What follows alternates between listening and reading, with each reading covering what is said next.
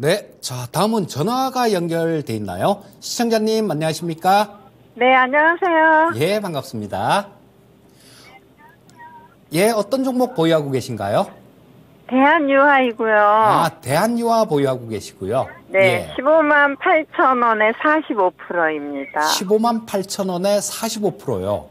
네. 비중을 왜 이렇게 많이 실으셨어요?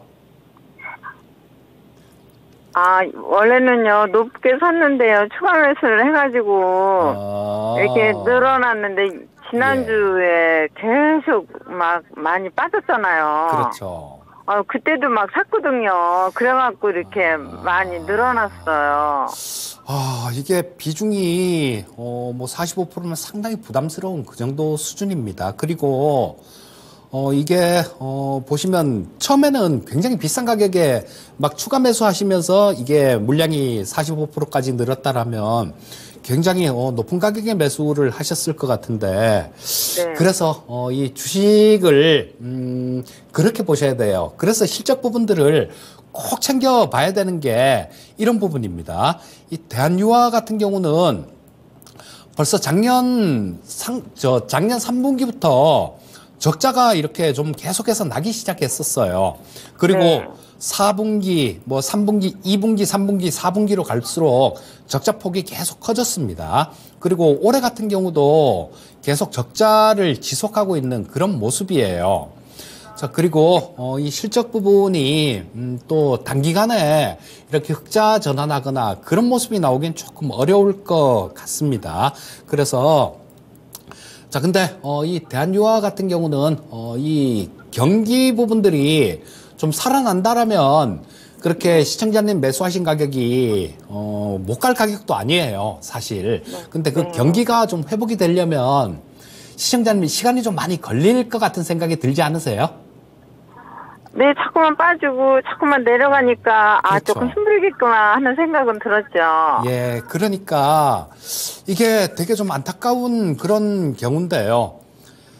자, 지금은 비중이라도 뭐, 어, 좀 작으시다라면, 네. 뭐 조금 좀 뭐 더 아래로 이렇게 빠졌을 때 뭐 10%만 돼도, 어, 뭐 일단 기업이 기본으로 갖고 있는 저 자산 가치라는 게 있으니까 이게 주당 자산 가치가 보시게 되면 만 28만 원 정도는 나옵니다. 주당 자산 가치가 그 정도는 나오기 때문에 어 뭐 여기서 좀 더 빠진다라면 비중이 작으면 추가 매수가 가능한데 지금 상태에서는 더 하시면 안 돼요, 시청자님. 아니요. 예. 추가 매수를 할 생각은 했는데, 얼마까지 내려오면은 추가 매수를 할까? 그거를 여쭙고 싶어서요. 45% 비중인데 더 하시게요. 네. 자, 이 종목 같은 경우는 음, 저는 제가 권유해 드리기는요. 추가 매수 반대 의견 말씀을 분명히 지금 말씀드립니다. 그런데 추가 매수를 꼭 감행을 하셔야 되겠다라면 이 부분들 지금 뭐 어, 계속해서 아래로 하락하고 있는 모습이니까 그 전저점이 10만 천 원 정도 있어요. 그러니까 네, 네. 10만 5천 원 아래 정도라면 어, 추가 매수가 가능한 그런 구간이다라고 보는데 네. 어떤 한 종목에서 시청자님 뿌리를 뽑으려고 그러시면 안 돼요.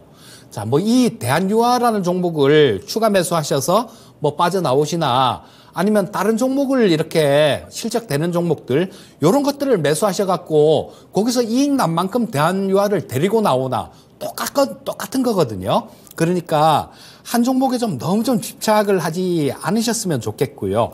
현재 상태에서는 경기가 좀 회복되는 구간, 그러니까 뭐 내년이나 뭐 내년 하반기 정도면 경기가 어느 정도는 좋아지는 그런 모습이 있을 것 같습니다. 그러니까 내년 하반기 정도면 매수하신 가격, 뭐 그 가격 까지도 볼 수 있는 그런 상황이다라는 판단이니까 일단 현재 상태에서는 어, 좀 길게 갖고 가는 전략을 말씀드리겠고요.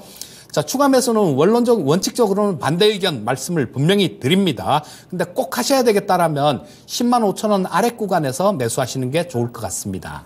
어, 그, 그러면은요, 예. 어, 이제 10만 5천 원에 추가 매수하면 얼마까지 올라갈 것 같아요? 제가 산 금액까지는 안 가더라도요. 일단 한 1년 이상을 보신다라면 뭐 매수하신 가격 근처도 가능할 것 같아요. 경기가 어느 정도 회복이 된다라면. 아, 네. 이게 아까 더 말씀드렸던? 네. 기본적인 자산 가치가 있어서 그런 거거든요. 네. 예. 그러면 지금 더 내려갈 상황도 있어요? 그럼요. 주식이라는 게 항상 그렇습니다. 열이면 열, 백이면 백, 전부 다 마찬가지예요. 주가가 오를 줄 알고 사는 겁니다. 빠질 것 같은데 주식을 사는 바보는 세상에 없습니다. 항상 내 생각이 틀릴 수도 있다라는 걸 염두에 두셔야 되기 때문에 지금 비중이 너무 높다라고 말씀드리는 거고 추가 매수는 반대 의견을 말씀드리는 거예요. 아, 네. 감사합니다. 예, 감사합니다.